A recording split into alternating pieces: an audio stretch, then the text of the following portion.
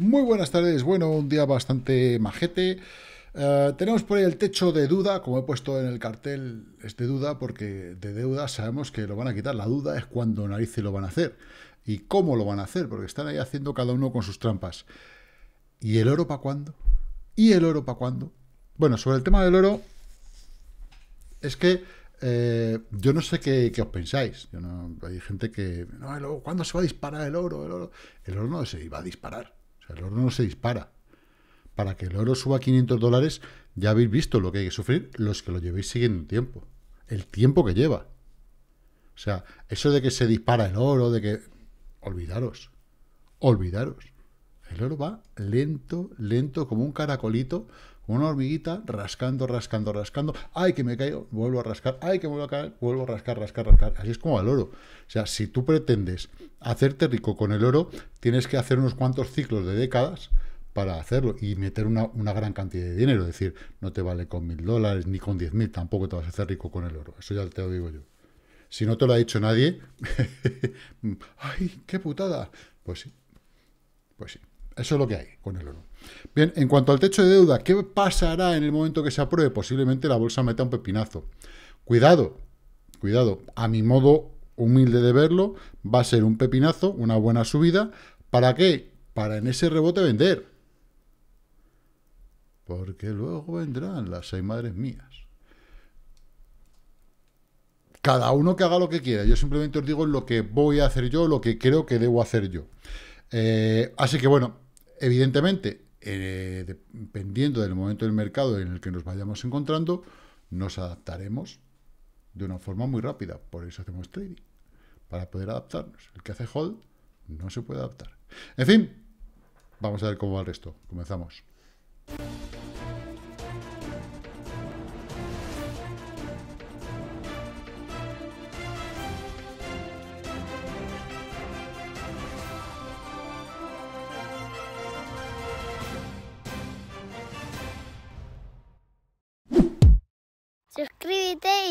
Campanita.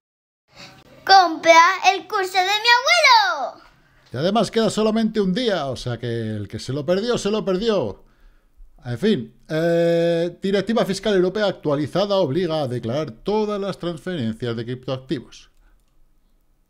¿A qué se refiere? Bueno, se aprobó con la ley MICA y aquí tenemos, a, eh, se trata de la octava versión de la Directiva sobre Cooperación Administrativa DAC, por sus IVAs en inglés, eh, DAC, DAC, eh, Directivation Cooperation Administration de nos toca los Cojoration, y es lo que tiene, que estas cosas al final eh, lo único que producen es que más control para sacarte el dinerito. Y, y, lo que seguimos, ¿no? Lo que decíamos hace tiempo y lo que seguimos diciendo. Si las criptomonedas son tan chungas, son tan malas y son tan tal, ¿por qué cobras impuestos sobre algo que es una estafa, ¿no? Hoy alguien ha puesto no sé qué de Ponzi ahí en, los comentarios de, de, YouTube. ¿Ves? Como siempre hay gente que no se entera. No se entera, no se entera. Pero bueno, es lo que hay, es lo que hay. Bitcoin Ponzi. Ya, joder, es que de verdad la gente está muy retrasada. Eh, bueno, muy atrasada, atrasada, atrasada. En fin, eh, al final, pues bueno, quieren que toda la información sea transparente entre los países y demás eh, con la cripto y ya está. Y simplemente controlarla y que si un país le pide a otro esa información, pues eh, tal, que si hay un exchange que se ha dado de alta en, un país, pues al final esa información pueda estar disponible para otro país que la pida, y auto, pero, pero también dentro de eso que automáticamente se puedan pasar esos datos. Eh, por eso, bueno, pues no solamente es una lucha contra los exchanges que puedan estar dados de alta en España, sino también contra los exchanges que puedan estar dados de alta en Europa, en Europe's Living Acceleration. bueno, eh, Decía, la decisión de hoy es una mala noticia para quienes han utilizado indebidamente los criptoactivos para sus actividades ilegales, para eludir las sanciones de la Unión Europea o para financiar el terrorismo y la guerra. Hacerlo ya no será posible en Europa sin quedar en evidencia. O sea, lo más grave de todo esto no es comprar armas, financiar el terrorismo, la guerra o eludir las sanciones, sino quedar en evidencia. Tampoco la multa que te van a meter o te van a fundir. No es importante. Lo importante es quedar en evidencia. Acojonante. En fin, esto es lo que hay. Por otra parte, bueno, pues según la nueva encuesta, Bitcoin es más seguro que el dólar estadounidense. No te jode, pues claro, o sea, han descubierto las Américas de nuevo. No, han descubierto Australia otra vez. Increíble. O sea, en fin, bueno, una de las mejores métricas de Bitcoin dice que el precio alcista de Bitcoin ya está aquí. Eso yo creo que, bueno, no hace falta tampoco tener esta métrica, ya eso ya lo sabemos. Esto no quiere decir que no pueda haber grandes retrocesos, como en cualquier mercado que cambia de dirección. Esto es lo más lógico del mundo y las veremos y nos aprovecharemos, o al menos intentaremos aprovecharnos de los retrocesos eh, todo lo que podamos. No quiere decir que lo vayamos a hacer eh, ni mucho menos a al 100%, mm, ni siquiera muchas veces aprovecharemos el 50% del retroceso, pero de los retrocesos sí vive el hombre. ¿Qué más tenemos por aquí? Bueno, pues BRC hace un nuevo capítulo para Bitcoin a medida que el precio se muestra, muestra señales al, alcista, según un informe, bueno, esto ya sabéis, según un informe, según tal, pero bueno, creo que es una muy buena noticia el tema del BRC20, esos tokens que se pueden generar dentro de la red Bitcoin, esos contratos inteligentes en Bitcoin, es un notición que, bueno, pues posiblemente pues nos va a hacer Em, tener muy buenos días. Por otra parte, el SP500, fijaros cómo empuja, empuja, empuja, empuja y sigue empujando 4.146. Y lo que te rondaré, Morena. Tremendo, lo está haciendo muy bien. De momento, esta pequeña línea de tendencia, vamos a, ver si ahora me deja la máquina cambiarlo, porque me está, yo no sé, últimamente voy a tener que cambiar eh, algo.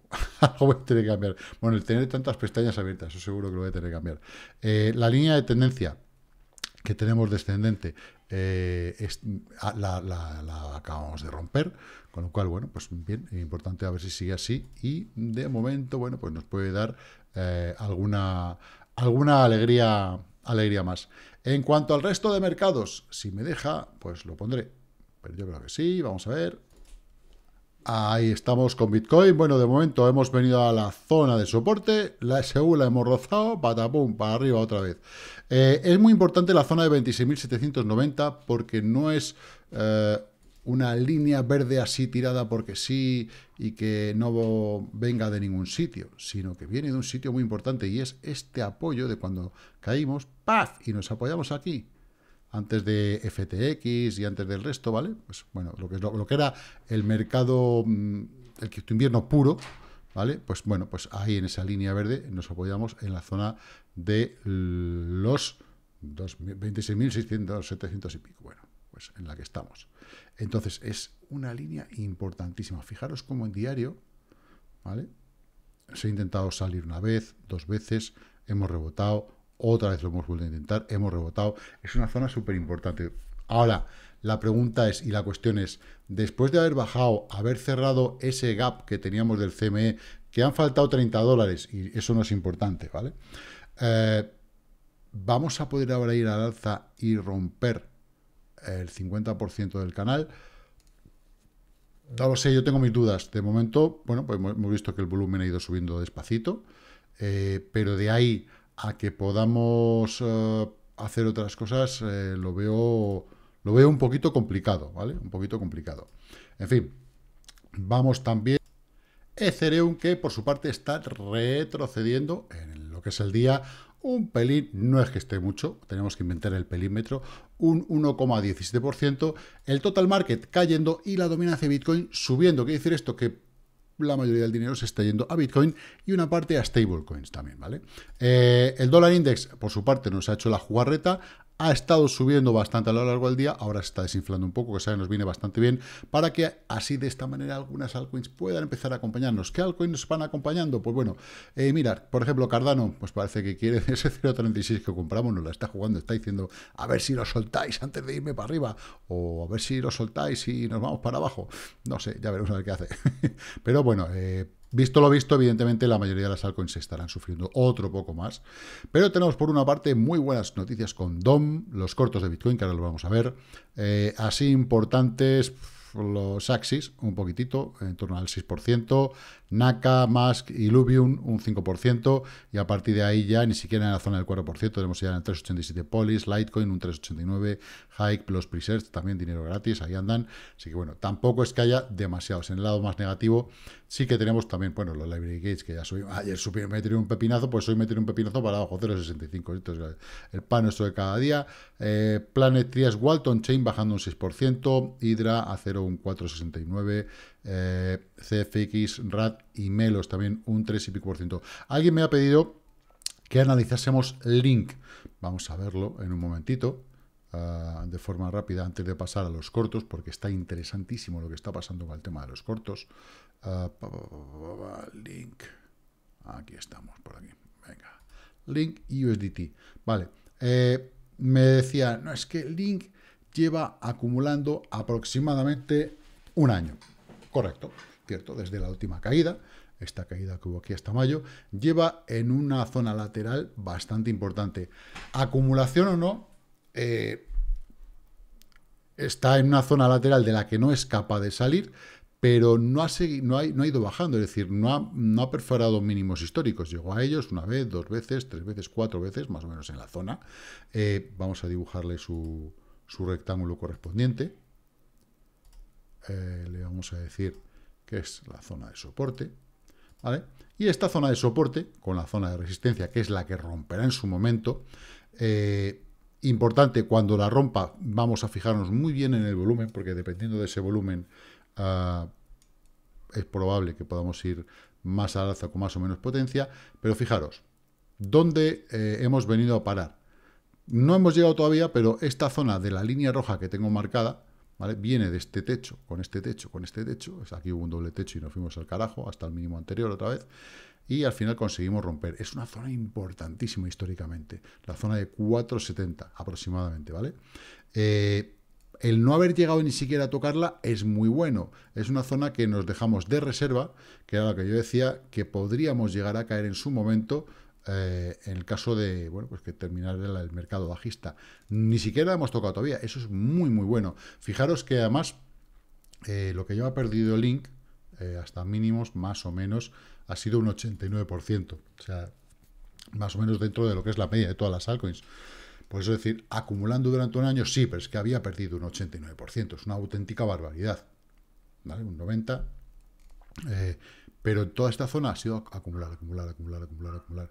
Que ha habido gente tradeando, compro, vendo, compro, vendo. Pues seguro, seguro. Ten en cuenta que estos apoyos que hay aquí resiste me apoyo, voy arriba, me apoyo y me voy al, máximo histórico, con lo cual es una zona de máximo súper importante. El día que se rompa, pues posiblemente nos iremos a la zona de 18. ¿Qué significaría eso? Aproximadamente un 103% desde la ruptura, no desde donde estamos ahora, que sería bastante más, ¿vale? Vigilarla, acumularla, bueno, pues para mí es un, una posibilidad exactamente igual que Cardano, exactamente igual que muchas que, bueno, pues que creo que tienen mucho que decir, mucho que decir en el próximo eh, eh, mercado alcista y, bueno, pues seguiríamos viendo poco a poco eh, lo que nos van dando. Bien, por su parte, los, los cortos de Bitcoin vuelven a la carga. Fijaros que de 1, 2, 3, 4, 5 días para hacer esta caída, ¡pam! Hoy en un momentito, otra vez arriba. es normal, el precio de Bitcoin quiere intentar salir, hemos estado que si caemos, que si tal, que si cual. Hacemos un diente de sierra, no sé cuánto tiempo va a seguir ahí, pero bueno, ya lo iremos viendo y nos iremos adaptando a esa presión bajista que pueda ir subiendo. En fin, no hay mucho más que decir. Eh, de momento, Bitcoin subiendo, viendo a ver si, si conseguimos pasar esta zona de estos dos apoyos, veis este que hay aquí, que es justo donde estamos ahora, eh, 26.930 aproximadamente. Si la rompemos, bueno, nos iremos al 50% del canal y a partir de ahí ya iremos viendo. Así que chicos y chicas, como digo, siempre invertir con mucha cautela y que la paciencia os acompañe. Chao, chao.